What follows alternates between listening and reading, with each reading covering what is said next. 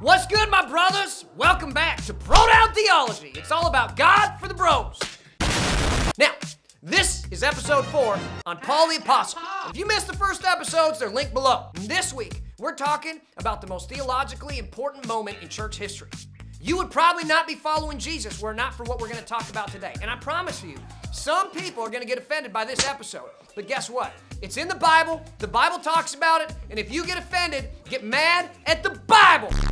This week, we're talking about the bedrock theological decision of the church. So Paul and Barnabas head back to Jerusalem, the seat of power for the Jews and the church, to talk about all that God has done. Now, here's the thing. You remember when God told the apostles to start reaching out to the non-Jews? It was like Harley riders becoming crotch rocket riders, and they all knew that that sounds cool, but when they ask for volunteers, like, hey, who wants to trade in their super glides for a Hayabusa? There are crickets. Nobody wanted to do that. See, there's a lot of tradition and culture when it comes to Harley riding.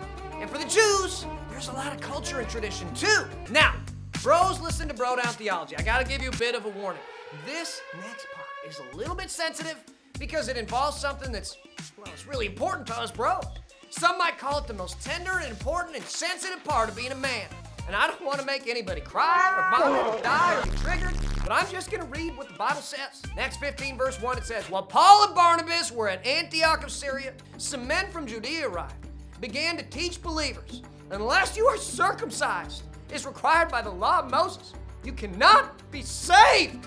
You're going to hell. For the Jews, to show that you were part of God's family, to show that you were willing to submit all of yourself, I mean all of yourself to God, you had to get circumcised. You're talking about this? Which, you know, was a part of their culture and custom and deal and covenant with God. And if you were a male child, this happened on your eighth day of life. What? Fortunately, thank God, no one would remember it on the eighth day of life. Now, if you converted to Judaism, it happened as an adult without anesthesia, sometimes with a dirty, dull, stone blade.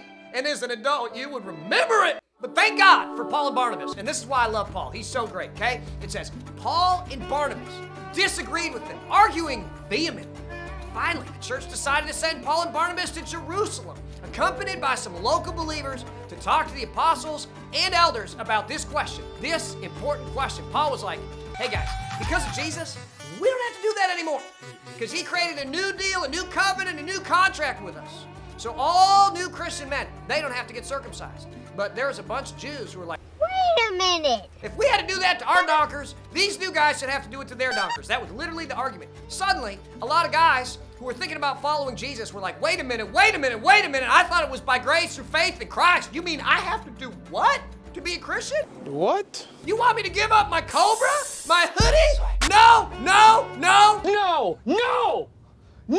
And they all start yelling, arguing, and spitting. As you could imagine, these things got pretty heated. People were passionate about this. It was the first ever real church argument.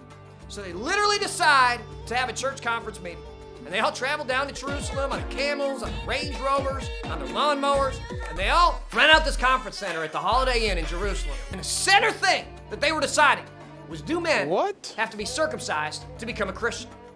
Basically, do they have to become Harley riders? Now, I know a lot of us bros don't really care that much about church meetings and arguments and politics. Get those li- We just want to go fishing. We don't really watch the news. But if a church meeting's happening, for most of us, we don't care.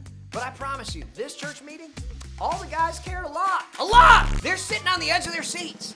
I mean, the Bible doesn't specifically mention it, but I'm sure at that conference, you know, at the center, at the Holiday Inn, it was surrounded by a bunch of new Christian men praying all day, all night. I mean, normally you're not going to get a bunch of bros to fast and sing worship songs, but they were here like, Jesus, please take the wheel, please help. All the news networks, CNN, MSNBC, Fox, helicopters circling, all the second-rate doctors, they're sitting there sharpening their knives, you know, their stone knives, getting their biting bullets ready for these guys to do these surgeries. Don't touch me, I'm sterile. And inside the meeting hall, the debate begins. It says, When they arrived in Jerusalem, Barnabas and Paul were welcomed by the whole church, including all the apostles and the elders. And they reported everything God had done through them. But then some of the believers who belonged to the sect of Pharisees stood up and insisted the Gentile converts must be circumcised as required to follow the law of Moses.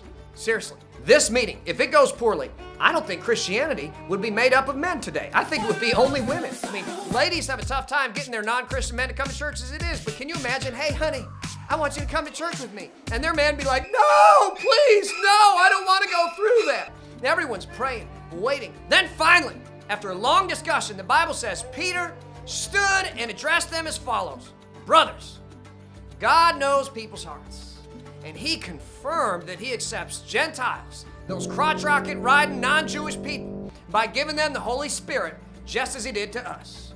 He made no distinction between them and us, for he has cleansed their hearts through faith. So, why are you now challenging God by burdening the Gentiles with a yoke that neither we nor our ancestors were able to bear? We believe that we are all saved the same way by the undeserved grace of the Lord Jesus. It's not about circumcision, it's not about race.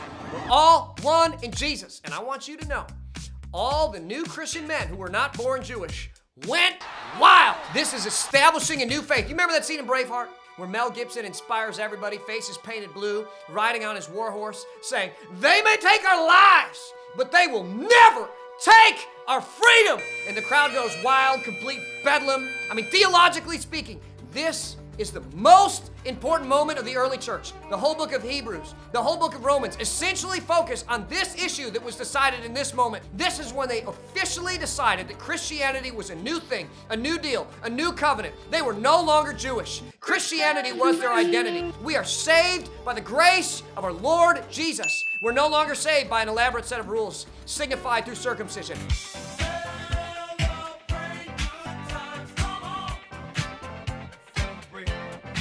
We're saved by grace through faith in Christ. It's the foundation of our religion. It's the linchpin of the Bible. This is such a critical moment for you to understand. Cannot overstate. And Paul is finally set free to share about Jesus with the non Jews without the burden of the Harley riding Jewish traditions.